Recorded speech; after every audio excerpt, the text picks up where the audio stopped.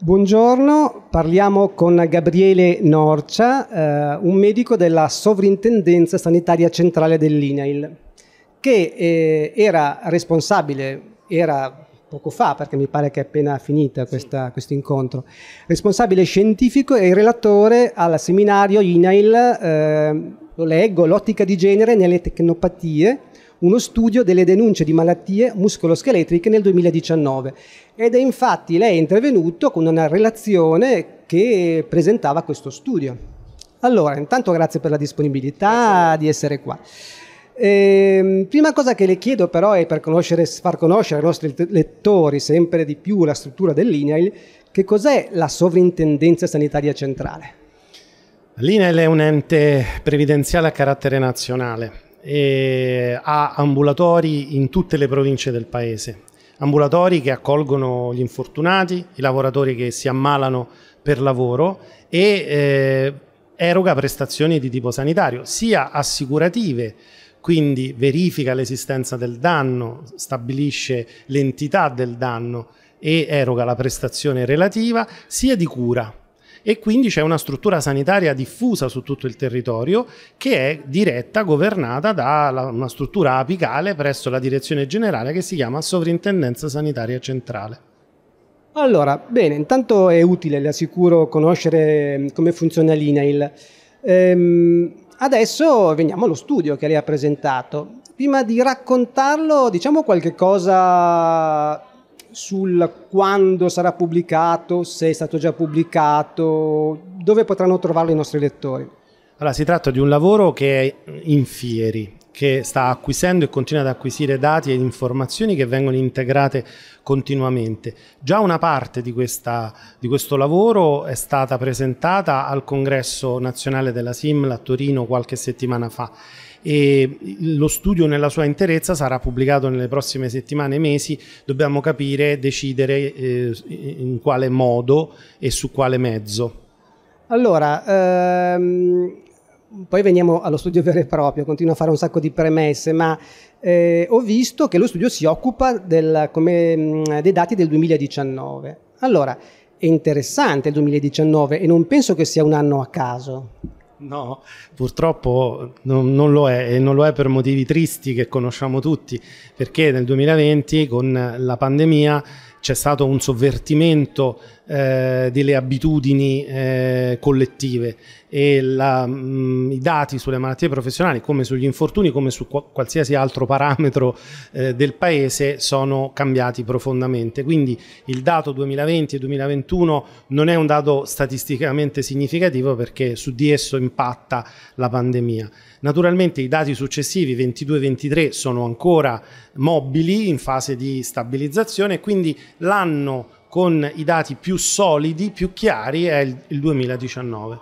Allora, veniamo allo studio e approfondiamo i dati anche in ottica di genere, appunto.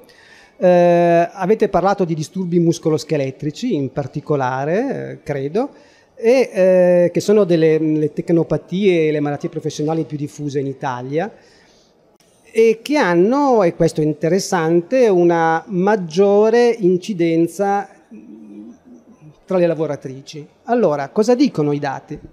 Allora, intanto vorrei fare una minuscola premessa che è questa. L'INAIL è, um, è dotato di una struttura uh, ad alta specializzazione che si occupa specificamente di gestione del dato statistico. I medici non fanno questo di lavoro, noi non facciamo questo di lavoro, tuttavia eh, disponiamo di una cartella clinica, di uno strumento unico al quale unicamente hanno accesso i medici, e cioè una cartella clinica informatizzata, nazionale, eh, nella quale vengono registrati tutti i fatti, gli infortuni e le malattie professionali che occorrono ai nostri assicurati. Quindi diciamo, la ricognizione delle informazioni contenute in questa cartella clinica nazionale per noi è utile per calibrare meglio gli interventi di tutela, cioè per migliorare la nostra capacità di accogliere questi cittadini ammalati o infortunati e di tutelarli, ma anche di prevenzione, magari suggerire interventi perché il fatto dannoso non accade. Fatta questa premessa, le informazioni eh, di cui oggi disponiamo ci dicono che alcune patologie in particolare hanno una polarizzazione di genere. Eh, le malattie muscoloscheletiche sono le malattie di gran lunga più denunciate più riconosciute in Italia, oltre i due terzi di tutte le malattie denunciate sono malattie muscoloscheletriche, ma in particolare nelle donne sono ancora di più, sono circa i tre quarti. Eh, e questo è un dato che ci stimola ad una riflessione che poi è quello che ha condotto alla, allo studio più analitico. Allora, una riflessione, tra l'altro le diceva appunto che voi come medici non vi occupate espressamente di dati, ma è interessante che a raccontarli siate voi perché effettivamente avete un taglio diverso da un taglio, tra virgolette, solamente statistico in qualche modo. Ehm, detto questo, allora, eh, appunto perché il taglio è un taglio diverso, per esempio, tra questi disturbi muscoloscheletrici ci sono alcuni eh, disturbi particolari, alcune patologie che sono particolarmente legate al genere femminile? Sì, sì, in realtà eh, andare a curiosare in questa grande quantità di informazioni ci ha permesso di estrarre degli spunti interessanti. Eh, abbiamo detto che le malattie muscoloscheletiche sono le più denunciate e le più riconosciute. Nelle donne sembrerebbe eh, ancora di più che nei, negli uomini.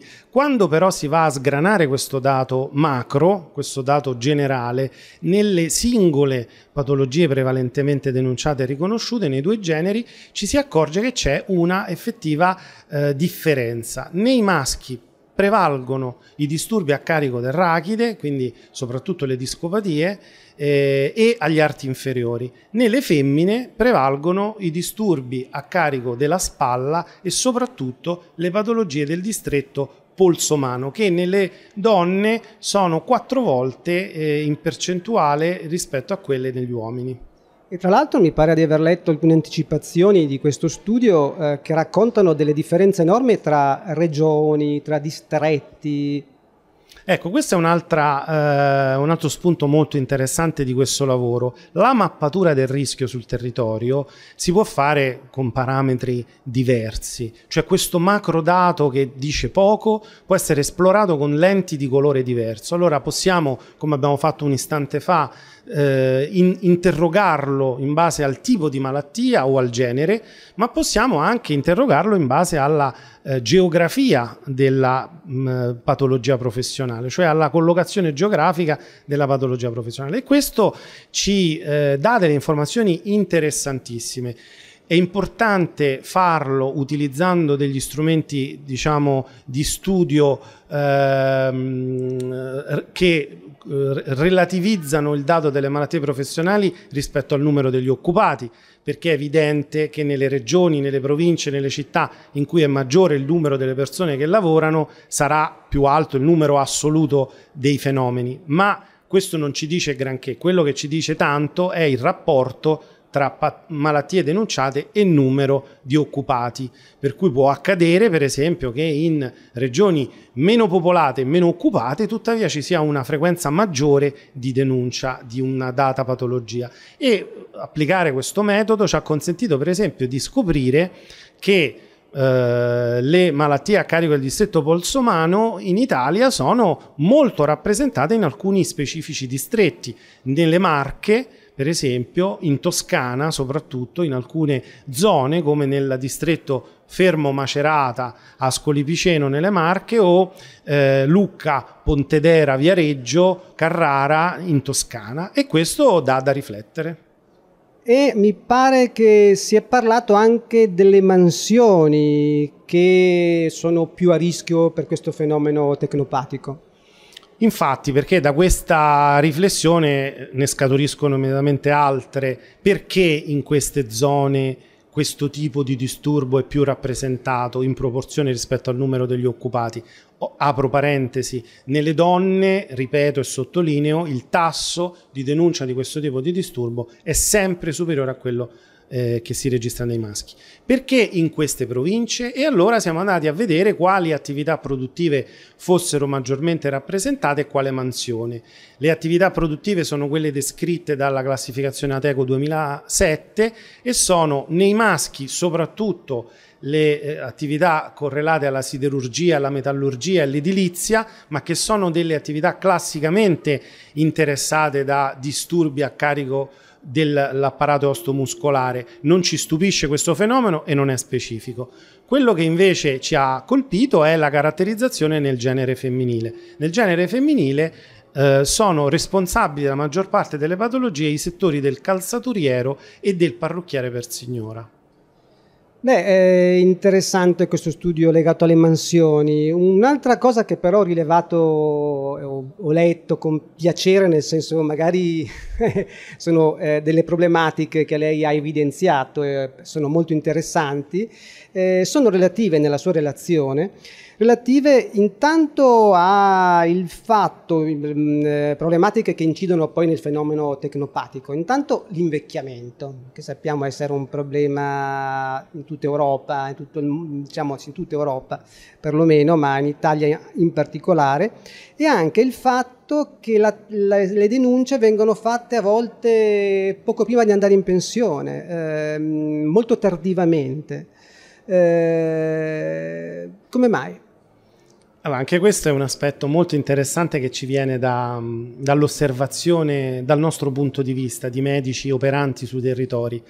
Eh, abbiamo notato che eh, negli anni la fascia di denuncianti eh, 40-60, tra i 40 e i 60 anni, eh, andava lentamente riducendosi a vantaggio invece della fascia over 60 anni.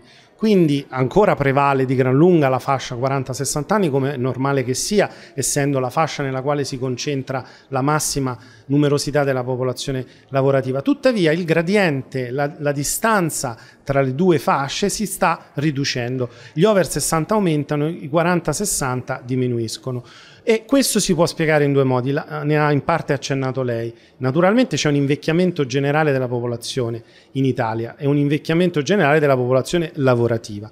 Questo primo punto è molto importante per un istituto come il nostro che si occupa di infortuni e malattie professionali e di, oltre che di tutela di prevenzione. La salute e la sicurezza sui luoghi di lavoro non possono non tener conto del fatto che la popolazione generale lavorativa invecchia e quindi bisogna immaginare un eh, lavoratore medio più grande con problemi di salute diversi da quelli che aveva magari un lavoratore 50 anni fa. E questo è un primo aspetto. Il secondo aspetto riguarda la tutela, perché tutelare un danno alla salute in un lavoratore di età avanzata è un problema tecnico non indifferente, è un problema tecnico in ordine al nesso di causa, cioè è difficile capire cosa derivi da un'usura fisiologica e cosa derivi invece da una specifica attività lavorativa, benché sappiamo che la nostra attività di tutela è privilegiata. Tutela privilegiata vuol dire che rispetto al tutelato, al lavoratore, c'è un'attenzione specifica e maggiore del legislatore, quindi si tutela anche l'aspetto concausale, anche se la, lavoro è solo un fattore concausale, il, il danno è tutelato. Ma eh, un altro aspetto, e quello a cui accennava lei, è che eh, questo dato si può spiegare con il fatto che non solo il lavoratore medio è più anziano, ma tende a denunciare la, la, la malattia in tarda età, cioè quando ha alla soglia della pensione o addirittura dopo. Questo perché il diritto in realtà non si prescrive se non mm, con un criterio molto aperto e, e, quindi ci interroghiamo sul perché, perché i lavoratori denunciano solo tardivamente o dopo la pensione, le risposte sono tante, molto probabilmente perché oggi ancora denunciare una malattia professionale al lavoratore non sempre conviene perché lo esclude può rischiare di escluderlo dal mondo del lavoro. Basti pensare ad una, a quanto impatti sulla capacità lavorativa, sulla mansione specifica, per esempio un, una sindrome del tunnel carpale in una lavoratrice del calzaturiero che deve operare con le mani e che invece se soffre di, di sindrome del tunnel carpale non può farlo e che viene tutelata dall'assicurazione pubblica purtroppo con indennizi eh, molto ridotti che non compensano la perdita di capacità lavorativa. Quindi è normale che o, o, o basti pensare al muratore che ha un problema alla spalla o alla, all'ernia del disco, che è chiaramente impossibilitato a svolgere la sua mansione di muratore. Quindi è normale che il lavoratore medio tenda a evidenziare il problema quando è sulla soglia dell'età pensionabile. Allora, altri aspetti critici, altre criticità che lei ha evidenziato nella sua relazione eh, sono um, tanto la sottodenuncia, le sottodenunce, cioè il fatto che probabilmente spesso questi fenomeni non vengono denunciati neanche dopo la pensione. E un altro aspetto importante che lei mm, eh, indica come un fenomeno eh, di disomogeneità della denuncia nei territori. Eh, cosa può dirci su questi due aspetti? Ma per il sistema italiano la denuncia è un atto volontario, quindi necessita una attivazione dell'avente diritto che spesso però è, si tratta di un lavoratore con pochi strumenti autonomi e, e che quindi diciamo, può, eh, deve eh, avvantaggiarsi della, eh, del contesto socio-economico, culturale eh, del territorio nel quale vive. Laddove questo contesto è presente, vivo e attivo, eh, c'è verso che la malattia professionale venga intercettata dagli operatori adibiti e venga denunciata e quindi pervenga alla nostra attenzione. Laddove però questa cultura nel mondo del lavoro, questa tendenza, questo tessuto, substrato socio-economico, eh, penso ad esempio alla capillare presenza degli enti di patronato o alla sensibilità dei medici di medicina generale o dei medici competenti, consulenti dei datori di lavoro o dei servizi delle ASL sul territorio, ebbene laddove questa eh, cultura e questa capillarità, questa sensibilità capillare non è presente, il fenomeno non giunge alla nostra attenzione. Quello che abbiamo osservato e che osserviamo quotidianamente dal nostro osservatorio è che eh, la stragrande maggioranza delle denunce pervengono all'attenzione dell'istituto per fonte di enti di patronato e quindi sindacati e patronati sul territorio laddove ci sono, per esempio molto rappresentati Toscana, Emilia Romagna, Marche, l'Italia centrale, eh, invece non vengono da alcuni operatori eh, molto specia- specialistici come medici competenti che hanno una quota di denuncia ancora molto bassa, intorno eh, inferiore al 10%, diciamo addirittura tra l'1 e il 10%. Così come il medico di medicina generale tendenzialmente non denuncia la malattia professionale e questo è naturalmente un punto di caduta di un sistema che come diceva eh, l'indovinio Tiresia in Sofocle eh, chi non sa non vede e quindi se INAIL non sa, cioè non, non ha la percezione di quello che avviene sul territorio perché non viene fatta la eh, denuncia, è come il povero Edipo, eh, se non vede non sa.